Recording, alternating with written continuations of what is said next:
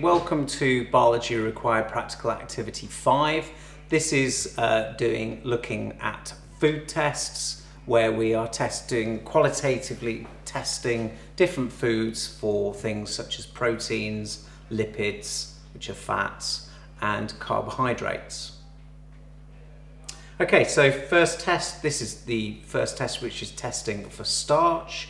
Uh, starch is found in things like bread, for example. Uh, it's a carbohydrate, um, and starch is actually stored carbohydrate. Um, so what we're going to use today is we're going to use this um, particular chemical called iodine. So iodine is a brown colorless liquid. I'll just show you on this here. So you can see it's brown and colorless. And here I've got a source of starch. If I place it in the test tube in front, and then just all I do is add three or four drops and we see what happens. So, so immediately you can see the starch has gone a blue-black colour. In fact, it's quite black, black there. So blue-black, and that shows there's a positive indication that starch is present. Just to show you that starch um, is in bread, if I do the same here, okay, I can actually just pour um, some iodine onto the bread and you can see it immediately goes black. So that shows that we have starch present in the bread. And that is the starch test. Okay, the next food test is for protein. Um, so as you can see, I've got some chemicals in front of me. I've got these two chemicals here called Biuret A, which is called sodium hydroxide, and I've got Biuret B, which in this case is copper sulfate. So what I'm going to do is test these two um, foodstuffs. So I have milk and albumin. Albumin is basically um, and part of the egg that contains lots of protein. So you could test foods. If you have to test foods, you have to filter uh, the food first, but we're going to just add some milk. So I'm going to show you if there's any protein in the milk. So first of all, take your test tube and add the milk.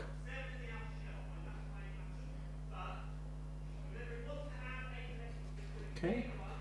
And then I am actually just going to place it here uh, so I can then use the droplets. So first of all, I'm going to use a couple of drops of Biuret A, first of all. So two, three, four, five. And then I'm going to add some copper sulfate, Biuret B, if I can get it open. Okay. So one, two, three, four, five. So equal amounts. Okay, and then I will take it out. I'm just going to shake it. Okay, so I'm just going to just agitate it slightly. Okay. And as you can see, it's gone a lilac or purple color.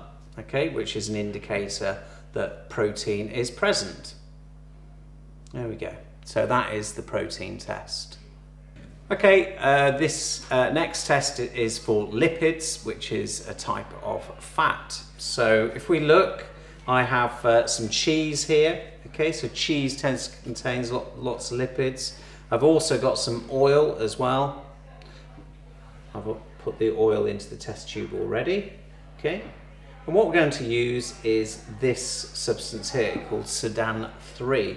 And Sudan 3 uh, is a chemical that you can add um, and, um, and I'll show you what happens. So what you need to do is you need to have your samples. You need, if you're going to use a sample like cheese, you need to use a pestle and mortar to um, grind it down and then you need to filter it.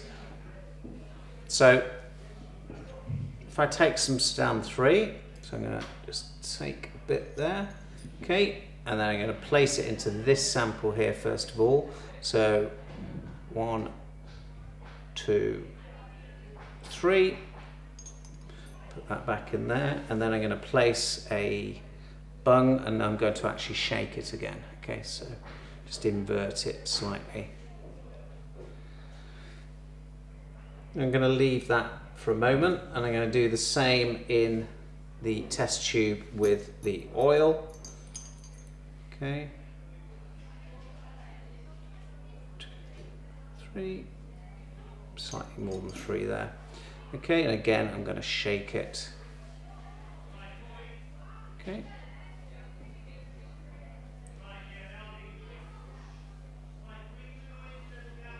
Right. Okay, and then you would leave them uh, for a couple of minutes and then see if any any of the red Sudan 3 is found on the top of the sample. So just to save time, I've got one that I prepared earlier. Okay, so this is the one I prepared earlier. So this is with some oil and you can see that the Sudan 3 is basically resting on the top of the liquid and that shows that lipids are present. So that's kind of what it should look like. So that is the test for lipids. Okay, this is related to the work that you're doing on food tests. Um, if you have a piece of food, okay, such as this biscuit, then before you can sample it, you usually would have to uh, filter it. So to filter it, you first of all got to break down the uh, piece of food. So you literally, all you do is you break up the piece of food you're interested in, for example, this uh, biscuit, okay? You can then add some water. So you can see that. And then you, you use the um, pestle and mortar to grind the sample.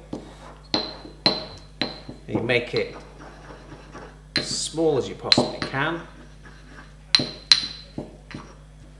Probably a bit more water in there so I can filter it. There we go. There we go.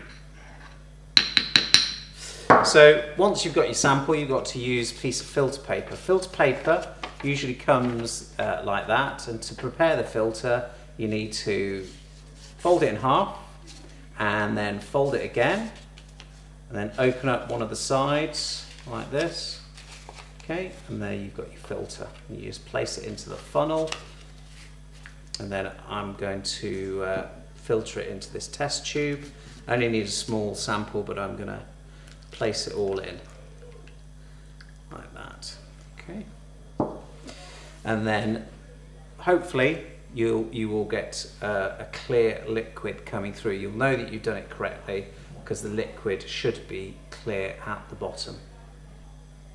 Okay, this test is for testing for sugars. Okay, so you can either use a liquid or you can use a foodstuff. In this case, we're using a biscuit that we filtered earlier. Um, and we're going to use this chemical here, this very blue substance called Benedict's reagent. And Benedict's reagent um, or salt a solution is really useful for looking at uh, sugars in foods. But what you have to do is you have to first of all open up the dropper to get your sample. So here's the sample I prepared earlier. Okay, and you add quite a bit of it into it so it's blue. So there we go. All right. But for this for this um, test to work, you actually have to use um, hot water. And the best way to do that is using a uh, Bunsen burner and a water bath. And it needs to be around about 80 to 90 degrees, so it has to be quite hot. So use a thermometer. Obviously be very careful when using the Bunsen burner. And what you do is you very simply just place the sample carefully into the beaker and you leave it for approximately a minute. Okay, after a minute you come and check your sample um, and as you can see the sample has gone a brick red or orange colour and that signifies a positive uh, test for sugar. That shows that the biscuit contains lots of sugar. Okay, so that concludes all the four food tests that you have to do for the required practical activity.